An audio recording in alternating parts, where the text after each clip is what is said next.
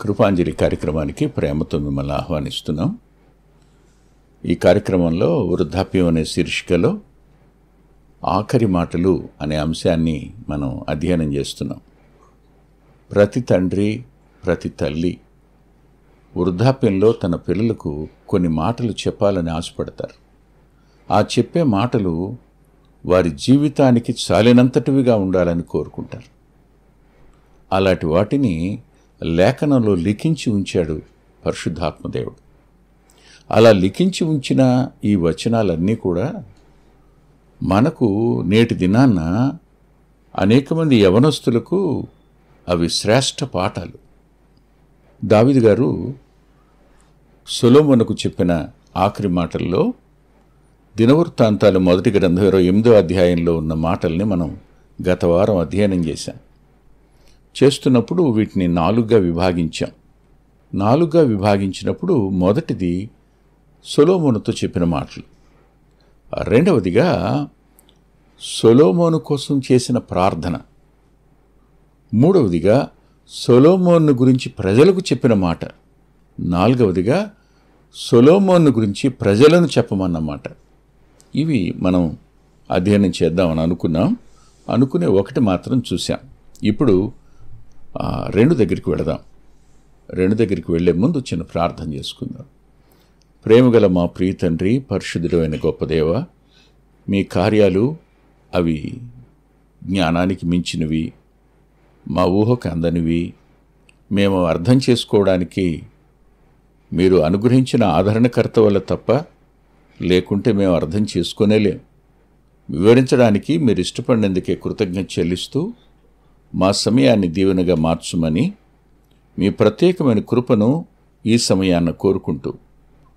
ఎవరు వారికి పరిచర్య చేస్తున్నారో తల్లిదండ్రుల ప్రేమను రుచించి వారి యొక్క రుణాన్ని తీర్చుకుంటున్నటువంటి కుమారులు కుమార్తెల కొరకు ప్రార్థన చేస్తున్నాను. మీరు చెప్పిన వాగ్దాన ప్రకారం వారికి దీర్ఘాయుష్నివ్వండి వారికి మేలు కలుగు చేయండి వారు నీ యందు క్షేమాన్ని పొందడానికి కృపనివ్వండి. చాలినంతటి గొప్ప దేవుడో నీవు. ప్రవ్వా తమ తల్లిదండ్రుల్ని సన్మానించే వారికి మీరు చేసేటువంటి మేళ్ళు ఉపకారాలు ఎన్నటికీ కొరత కావు కనుక సాయపడమని ప్రత్యేకంగా కొద్దిమంది దుఃఖంలో ఉన్నారు. తమ బాధలను వారు ఫోన్ చేసి మరి చెప్పుకుంటున్నారు. వారి దుఃఖం మీరు తప్ప ఎవరు నివారించలేరు. పాడైన పిల్లలు వ్యసనాలలో నిండిపోయినటువంటి పిల్లలు వారిని చూస్తూ ఏడుస్తూ ఇంకా రాలేదని ఎదురు చూస్తున్న అమ్మా నాన్నలు ప్రవ్వా వీరి విశ్వాసాన్ని కనపరిచి నీవు విశ్వాసం ఉంచినేళ్ళ నీవును నీ ఇంటి వారిను రక్షించబడతారని చెప్పిన మాట చొప్పున వారిలో కూడా మీ ఆత్మకార్యం జరిగించరా?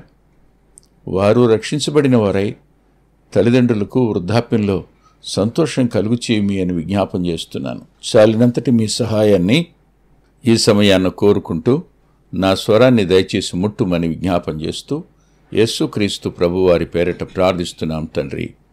ఆమెన్. దినవృత్తాంతాలు మొదటి గ్రంథం ఇరవై తొమ్మిదవ అధ్యాయంలో సొలోమోను కోసం దావిదు గారు చేసిన ప్రార్థన ఇలా ఉంది. ఏముందంటే నా కుమారుడైన సులోమోను నీ ఆజ్ఞలను నీ శాసనములను నీ కట్టడలను గైకొనుచు వాటినన్నిటినీ అనుసరించినట్లును నేను కట్టదలిచిన ఈ ఆలయమును కట్టించినట్లును అతనికి నిర్దోషమైన హృదయము దయచేయము. వండర్ఫుల్ ప్రేయర్ తాను కట్టడానికి దేవుడు అంగీకరించలేదు. కానీ అవసరమైన సమస్తాన్ని సమకూర్చాడు. సమకూర్చినవాడు కొడుకు కోసం ప్రార్థన చేస్తున్నాడు. ముందు తన కోసం ప్రార్థన చేసుకున్న ప్రార్థన అంతా కనపడుతుంది మనకు. అది పదో వచ్చి నుంచి కనపడుతుంది. అందులో ప్రత్యేకంగా సొలోమోను కోసం చేసిన ప్రార్థన నేను ఇప్పుడు చెప్పింది. నా కుమారుడైన సొలోమోను అని నీ ఆజ్ఞలను నీ శాసనములను నీ కట్టడలను గైకొనుచు. ఒక తండ్రి దేన్ని బట్టి ఆనందిస్తాడు? ఒక అంటే దేవుని హృదయానుసారుడైన ఒక తండ్రి తన బిడ్డ యొక్క ప్రవర్తన ఎలా ఉండాలని కోరుకుంటాడు? ఆ బిడ్డ యొక్క జీవితం ఎలా ఉండాలని ఆశిస్తాడు? అవి ఈ మాటల్లో కనపడుతున్నాయి. నీ ఆజ్ఞలు నీ శాసనాలు నీ కట్టడలు గైకొనుచు వాటన్నిటినీ అనుసరించినట్లు. ఇది దావిదుని గురించి చెప్పబడినటువంటి సాక్ష్యం ఇది. దావిదు తరువాత రాజులు వచ్చినప్పుడు ఆ రాజుల గురించి మాట్లాడుతూ వారు దావీదు వలనే ఆయన ఆజ్ఞలను ఆయన శాసనములను ఆయన కట్టడలను గైకొనిరి అని రాసుంటుంది. దావీదు ఈ మూడంతల అనుభవం గుండా తాను ప్రయాణం చేసినట్టు మనకు అర్థమవుతుంది. వీటిని గైకొన్నాడు. వాటిని అనుసరించాడు. అనుసరించిన ఈయన తానిప్పుడు వృద్ధాప్యంలో ఉన్నాడు. పడక మీదనే ఉన్నాడు. మనకు తెలుసు వెట్ట కలగడం కష్టంగా ఉన్న ఆ దినాలలో ఎన్ని కంబళ్ళు కప్పినా వేడి కలగని సమయాన్న వారు ఆయన కోసం ప్రత్యేకంగా తెకోవా నుంచి ఒక స్త్రీని తీసుకొని రావడం ఒక కన్నికను అవన్నీ మనకు తెలుసు. కానీ సొలోమోనుతో మాట్లాడినవాడు సొలోమోనును హెచ్చరించినవాడు తానిప్పుడు దేవునికి విజ్ఞాపన చేస్తున్నాడు. అంటే నాకు ఇలా అర్థమైంది. అదేమిటంటే తన కొడుకును తన భవిష్యత్తును దేవుని చేతికి అప్పగిస్తున్నాడు. మనం బ్రతుకున్నంత వరకు హెచ్చరించగలం అలా కాదు నాన్న అని చెప్పగలం ఇలా చేయొద్దు అనగలం కానీ వాళ్ళని మనం మార్చడం కానీ వారిని మనం వారి అంతరంగం లోనికి పోయి ఆలోచన కలుగు చేసి సరిచేయగలడం కానీ మనం చేయలేం. వాస్తవమే కదా?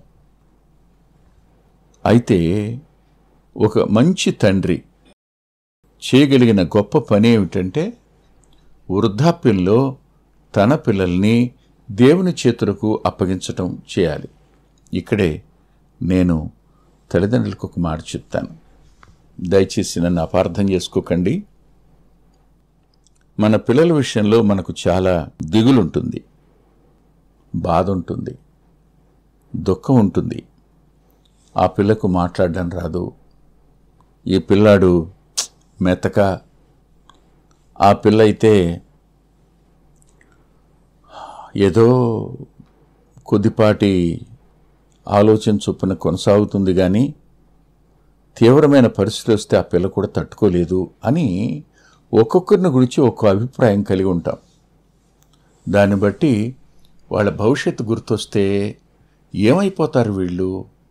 వీళ్ళ స్థితిగతులు ఏమైపోతాయి అని కంగారు పడతాం. ఖచ్చితంగా కంగారు పడతాం. కానీ నేననే మాట ఏమిటంటే ఆ పిల్లలు మీ పిల్లలేనా? ఆ పిల్లలు అంటే మనంతట మనం తెచ్చుకున్నామా? దేవుడిస్తే మనకు వచ్చారా మొట్టమొదట ఎవరి తాలూకా వాళ్ళు? మొదటిగా వారు దేవునికి చెందిన వాళ్ళు అటు తరువాత మనకు చెందిన వాళ్ళు ఇది ఎప్పుడు మర్చిపోకండి. మొట్టమొదటిగా దేవుడు వాళ్ళని మనకిచ్చాడు. వారు దేవునికి చెందినవారు. దేవుడు ఆత్మను సృజించి గర్భంలో రక్తమాంసాలు పొదిగి నీ చేతులకిచ్చాడు. కాబట్టి మొట్టమొదటిగా వారు ఆయనకి చెందినవారు అనే స్పృహ వృద్ధాప్యంలో మనకు పోతే ఖచ్చితంగా దుఃఖమే మిగులుతుంది సంతోషం ఉండదు. అయ్యో నేను అది చేయలేకపోయినానే ఇది చేయలేకపోయినానే ఇది సమకూర్చలేకపోయినానే ఇది చెప్పలేకపోయినానే ఇది చదివించలేకపోయినానే ఇలాంటి ఆలోచనల చేత సతమతమైపోతాడు వృద్ధాప్యం. ఉన్న ఏ తండ్రి అయినా సరే. కానీ వృద్ధాప్యంలో తమను పట్టించుకోని పిల్లలే అయినా వారు ఎలా ఉండాలని తండ్రి కోరుకుంటాడు? వారు ఏ రీతిగా ఉంటే క్షేమం అనుకుంటాడు? వారి జీవితాలు ఎలా కొనసాగాలని ఆశిస్తాడు? ఇక్కడ మనకు కనపడుతుంది ఆశ్చర్యంగా అతనికి నిర్దోషమైన హృదయమును దయచేయము. నిర్దోషమైన హృదయం. ఎలాంటి హృదయం కలిగిన కొడుగ్గా ఉండాలని కోరుకుంటున్నాడు. మీ దేవాలయాన్ని కట్టేటప్పుడు అతడు నిర్దోషమైన హృదయం కలవాడుగా ఉండాలి అని. అంటే నా కొడుకు నీవిచ్చినవాడే నీ చేత ప్రేమించబడినవాడే నీ ఆజ్ఞలను నీ శాసనాలను నీ కట్టడలను గైకుంటూ నిర్దోషమైన హృదయంతో ఆ పని చేయాలి. ఒకటండి దేవుని కోసం మనం చేసేది ఏదైనా నిర్దోషంగా చేస్తే దోషం అంటకుండా చేస్తే వాక్యానుసారంగా మనం చేయగలిగితే దానికి ప్రతిఫలం ఉంటుంది. అది లేకపోతే ప్రతిఫలం ఉండదని గుర్తుపెట్టుకోవాలి. దావీదు లేచాడు ప్రజలతో మాట్లాడాడు. ప్రజలతో మాట్లాడిన తరువాత ప్రభుతో మాట్లాడుతున్నాడు అని ప్రార్థన చేస్తున్నాడు విజ్ఞాపన చేస్తూ సొలోమోన్ను ప్రభు చేతికి అప్పగించాడు. అంటే కొద్ది సమయానికి కొద్ది కాలానికి ఉండడిక ప్రభు దగ్గరికి వెళ్ళిపోతాడు. వెళ్ళిపోవడానికి ముందున్న సమయంలో పిల్లలని గురించి ప్రార్థన చేయడం అనేది ఆ వృద్ధాప్యంలో ఆ ఒంటరితనంలో ఏ తండ్రి అయినా చేయగలిగింది. మర్చిపోకండి సుమా. ఈ మధ్యకాలంలో నోబుల్ కళాశాలకు సంబంధించి seventy three seventy five intermediate batch gathering ఏర్పాటు చేస్తే అందులో క్లాస్మేట్స్ కొద్దిమంది కలుసుకోవడం జరిగింది. అక్కడే డిగ్రీ చదివిన వాళ్ళు కూడా ఆ బ్యాచ్లో ఉన్నారు. వారు నాకు పరిచయం లేరు. కానీ ఇంటర్మీడియట్ వరకే నేను అక్కడ చదివాను. అక్కడికి వెళ్ళిన తర్వాత వాళ్ళందరినీ చూస్తే అందరూ పెద్దవాళ్ళే. అందరూ నా వయసు వాళ్ళే అందులో ఒక వ్యక్తి ద టాలెస్ట్ మ్యాన్ మా క్లాసులో. ఆ తరువాత నేను అనుకున్నాను షార్టెస్ట్ మ్యాన్ కూడా వస్తాడు అనుకున్నాను రాలా. టాలెస్ట్ మ్యాన్ అయితే వచ్చాడు కూర్చున్నాడు. కూర్చుని మాట్లాడుతూ నవ్ ఐఎమ్ సెవెంటీ అన్నాడు. Real I shocked. డె అప్పుడే డెబ్బై ఏళ్ళ? మా బ్యాచ్ అంతటికి ఇంకా రాలా? అరవై ఆరులో ఉన్నాం. తనకు డెబ్భై అంటే ఇంటర్మీడియట్ పూర్తి అయ్యేటప్పటికి మాకు పదిహేడు లేదా పదహారు. కానీ అప్పటికి తనకి ఇరవై వచ్చేసినాయి అనమాట ఆ మాట చెప్పాడు. ఆ వాట్సాప్ గ్రూప్ ఒకటి తయారు చేశారు. ఆ గ్రూప్కి నోబుల్ మైండ్స్ అని నా స్నేహితుడు పెట్టాడు. తను బ్యాంక్ ఎంప్లాయ్ రిటైర్ అయ్యాడు.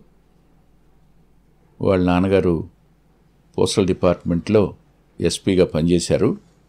చాలా ప్రేమ కలిగిన వాడైన. స్నేహితుడు కూడా మంచివాడు. తన పేరు స్వామినాథ్. ఆ గ్రూపులో ఈ మధ్యకాలంలో జాన్ శామ్యుల్ అని విసన్నపేటకు చెందిన ఒక సోదరుడు ఒక పోస్టింగ్ పెట్టాడు.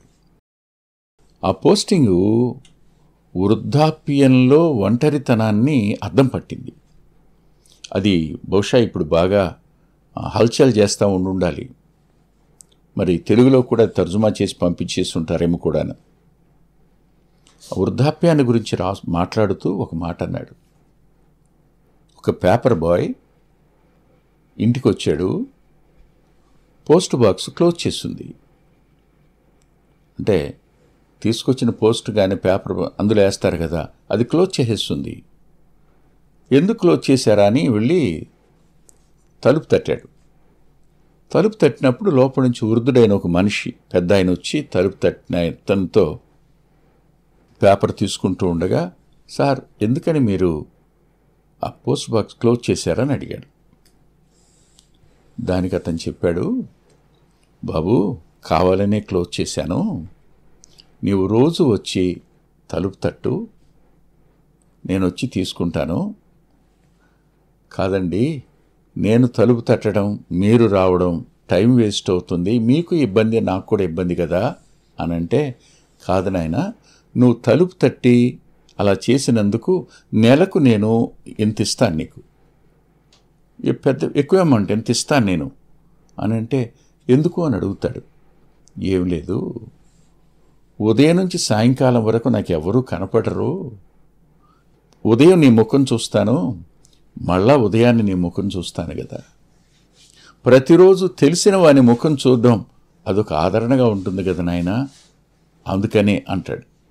అనేసి మళ్ళీ కాసేపు ఆగంటాడు అంటాడు ఏదైనా ఒక రోజు నన్ను తట్టినప్పుడు నేను తీలేదనుకో అప్పుడు దయచేసి వారికి ఫోన్ చేయి లోపల ఉన్న వ్యక్తి చనిపోయాడని మర్చిపోకు సుమా అంటాడు. అనేసి ఈ నెంబర్ నీ దగ్గర పెట్టుకుంటావా? ఇది నా కొడుకు నెంబరు ఇక్కడ లేడు విదేశాల్లో ఉన్నాడు వానికి కూడా ఫోన్ చేసి మీ నాన్న చనిపోయాడని ఒక మాట చెప్తావా ప్లీజ్ అంటాడు. అది చదివినప్పుడు ఎందుకో గుండె అలా పట్టేసినట్టు అనిపించింది. మరణానికి సమీపమవుతున్నటువంటి వ్యక్తి తన పిల్లల విషయమైన ఆలోచన తన మరణ వార్త తన కొడుకు తెలియాలనే ఆలోచన తన కొడుకు తెలుసుకుని రావాలనే ఆలోచన మరణం అయిన తరువాతైనా వచ్చి తన చేతులతో తన్ని ఆ, శవ సంస్కారం అంతా చేయాలని ఆశ ఇదంతా గుండె పట్టేసినట్టు ఉంటుంది కదా వృద్ధాప్యంలో ఉన్న వ్యక్తి తన రాజ్యాధికారాన్ని కొడుకిచ్చేస్తూ సింహాసనం మీద తన ఆసీనుడై తన కిరీటాన్ని ధరించి తాను నిర్మించాలనుకున్న దేవాలయాన్ని అతడు నిర్మించేటప్పుడు అతని హృదయం ఎలా ఉండాలో ఎంత అద్భుతంగా ప్రార్థన చేశాడు వృద్ధాప్యంలో. ఇక్కడే ఒక మాట అంటాను. ఈ రోజున నువ్వైనా నేనైనా ఈ పాటి జీవితాన్ని జీవిస్తున్నాం నెమ్మదిగా అంటే గుర్తుపెట్టుకోండి అమాయకంగా చేసిన అమ్మా నాన్నల ప్రార్థనలే మన ఎడల వారికున్న ఆశ మన భవిష్యత్తు విషయమై వారికున్న ఉద్దేశాలు. అవే ప్రార్థనకు జవాబులు. ఈ మధ్యకాలంలో నేను నా వైఫ్ మాట్లాడుకుంటున్నప్పుడు ఆమె ఇలా అంది అత్తయ్య చేసిన ప్రార్థనకు జవాబు వస్తానే ఉంది కదండి అని. ఏమిటి? అని అడిగితే నాయనా ఏ రోజుకి ఎంత అవసరమైతే అంత ఇవ్వు అయ్యా? నా కొడుక్కి. అంతకు మించి ఎక్కువ ఇవ్వబోక నాయన. సరిగ్గా ప్రార్థనకు జవాబు వస్తానే ఉంది కదండి. ఎంత అవసరతున్నా అంతా వస్తుంది కదా. అవునండి. వృద్ధాప్యంలో మనం ఉండి మన పిల్లల యొక్క నష్టాన్ని కోరుకోలేం. వారి క్షేమాన్ని కోరతాం. వారు గొప్పవాళ్ళవ్వాలనో శ్రేష్ఠులవ్వాలనో అతి మంచి పేరు సంపాదించుకోవాలనో ఇలాంటి ప్రార్థనల వల్ల ఏం ప్రయోజనం ఉంటుందో చెప్పండి. వారు దేవుని ఎరిగిన వారు కావాలని వారు దేవుని లేఖనాన్ని అనుసరించే వాళ్ళు అవ్వాలని వారు దేవుని కొరకు జీవించేవారు కావాలని ఇలాంటి ప్రార్థన మనం చేయడం ఎంతైనా ఉత్తమం కదా? సొలోమోను గురించి దావిదు చేసిన ఈ ప్రార్థనను ఆసరా చేసుకుని వృద్ధాప్యంలో మనం పడక మీద ఉన్న మన పిల్లల యొక్క భవిష్యత్తు నిమిత్తం మనం ప్రార్థించి దేవుని చేతులకి వారిని అప్పగించటం అనేది వృద్ధాప్యంలో మనం చేయాలి. ఇది మర్చిపోకండి. ఒంటరితనంలో ఉన్నా సరే ప్రార్థన చేయటం మర్చిపోకండి. సుమా అంతేకాదు మరో మాట కూడా నేను మీకు చూపించాలి.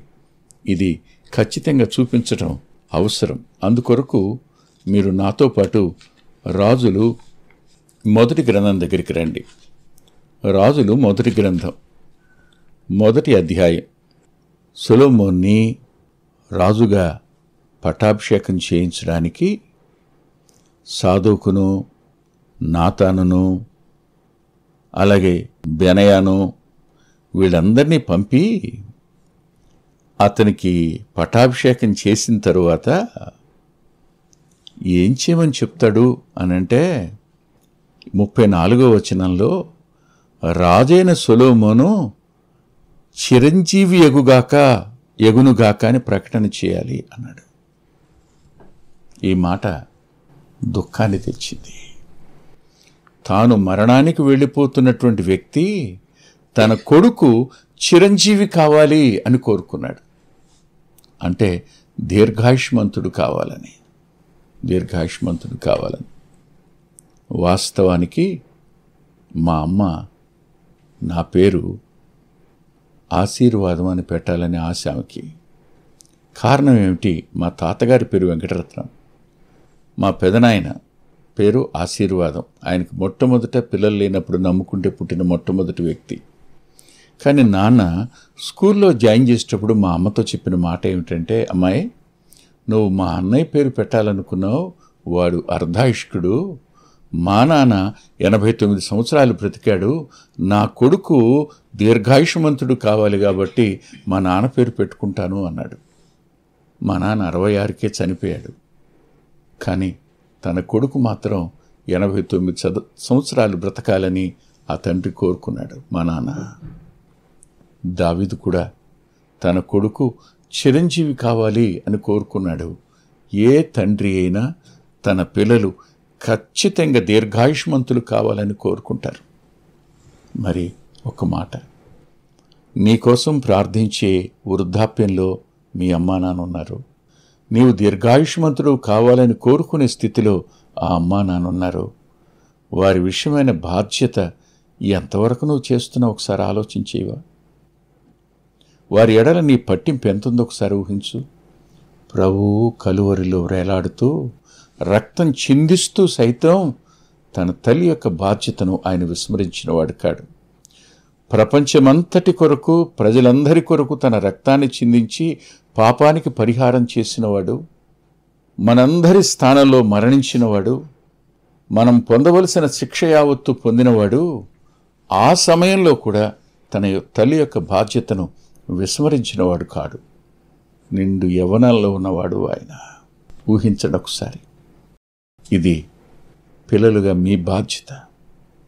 రక్షించబడిన తల్లిదండ్రులు మీరు కూడా రక్షించబడాలని ఎదురు చూస్తున్నప్పుడు మీరు రక్షించబడకుండా ఇంకా లోకంలోనే ఉంటారా? ఎప్పుడైనా విశ్వాసులైన అమ్మా నాన్నల పిల్లలైన మీరు ఈరోజైనా ప్రభువుని మీరు మీ జీవితంలోనికి ఆహ్వానించండి ప్రభు దగ్గర మీ జీవితాలు ఒప్పుకోండి క్షమించుమని అడగండి మీ ప్రేమను మీ తల్లిదండ్రులకు ఖచ్చితంగా పంచుమి అని నేను చేతులు జోడించి మీకు నమస్కారం చేసి చెప్తున్నాను. తలలు వంచండి ప్రార్థన చేసుకుందాం. ప్రేమగల మా ప్రియ తండ్రి పరిశుద్ధుడు మా గొప్ప దేవ దయగలిగిన మీ హస్తాలకు వింటున్న మా ప్రియులందరినీ అప్పగించుకుంటున్నాను. చాలినంతటి కృపనివ్వండి. విన్న మా ప్రియుల పిల్లలు రక్షించబడడానికి సహాయం చేయండి. వృద్ధాప్యంలో ప్రార్థించడానికి వారు దీర్ఘాయుష్మంతులు కావాలని కోరుకునేటువంటి వృద్ధాప్యాన్ని మీరు ఆశీర్వాదకరమైందిగా చేయమని మంచి వృద్ధాప్యాన్ని మా ప్రియులకిమ్మని. యేసుక్రీస్తు ప్రభువారి పేరిట ప్రార్థిస్తున్నాం తండ్రి. ఆమెన్. ప్రభు చిత్తమైతే వచ్చే వారం కలుసుకుందాం. అద్భుతమైన పుస్తకాలు అందుబాటులో ఉన్నాయి. అందులో అంత్యోక్ మినిస్ట్రీస్ నుంచి ప్రచురితమైన మీ ఆత్మీయ క్షేమానికి మేలు కలుగు చేసే పుస్తకాలు. మీ ఆత్మలను దేవుని కొరకై ఉజ్జీవింపచేసే పుస్తకాలు. ప్రభువులాగా జీవించడానికి ప్రేరేపించే పుస్తకాలను దైవాత్మ సహాయంతో వ్రాయటం జరిగింది. పిల్లల కొరకై చిత్రీకరించబడిన ఐదు డివిడీలు అందుబాటులో ఉన్నాయి. ప్రతి డివిడి పిల్లలను దేవుని కొరకు ఎంతగానో విశ్వాసాన్ని పెంపొందింపజేసేవిగాను ఆసక్తిని కలిగించేవిగాను ఆత్మలో ప్రభువుని హత్తుకునేట్టు చేసేవిగాను ఉన్నాయి. ఈ మధ్యన వెలువడినటువంటి ఆ డివిడి సాధనం. అది మీ పిల్లలకు ఎంతైనా మేలు చేస్తుంది. ఆ పాటలను మీరు చూస్తున్నారు.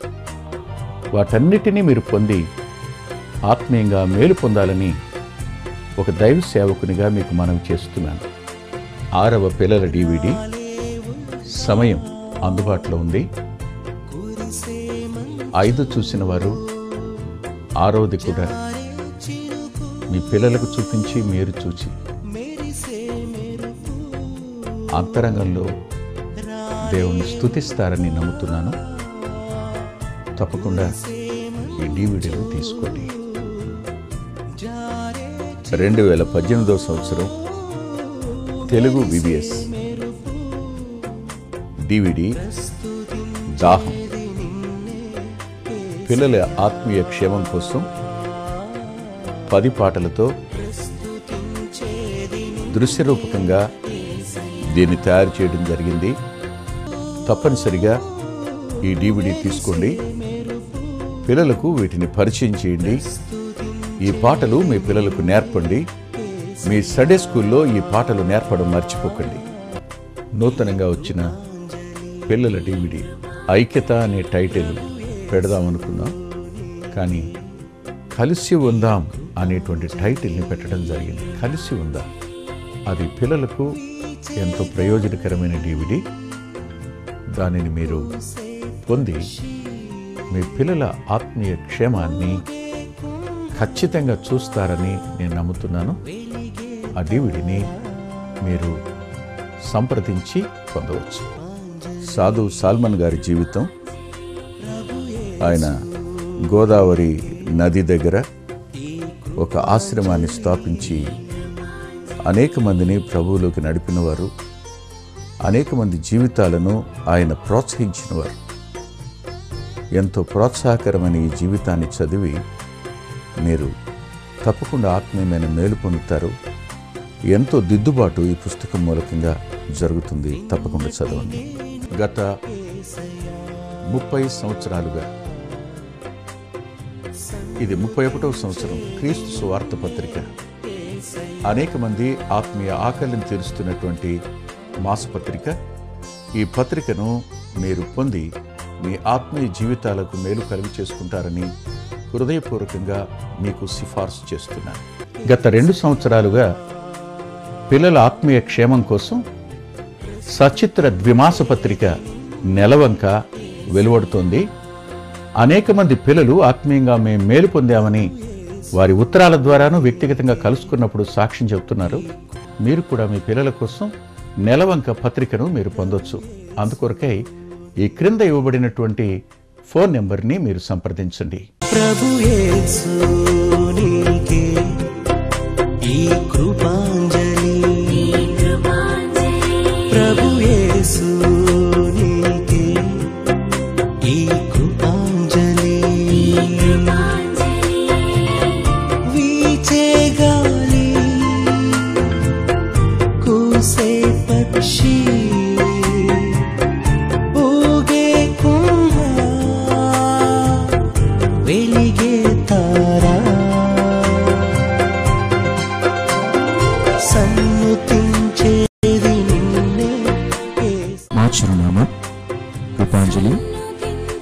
పిల్లా వెంకటరత్నం రామచంద్రపురం రోడ్ గుడివాడ కృష్ణా జిల్లా Andhra Pradesh. Our address Upanjali brother Pilla Venkataratnam Ramachandrapuram road Gudivada Krishna district Andhra Pradesh.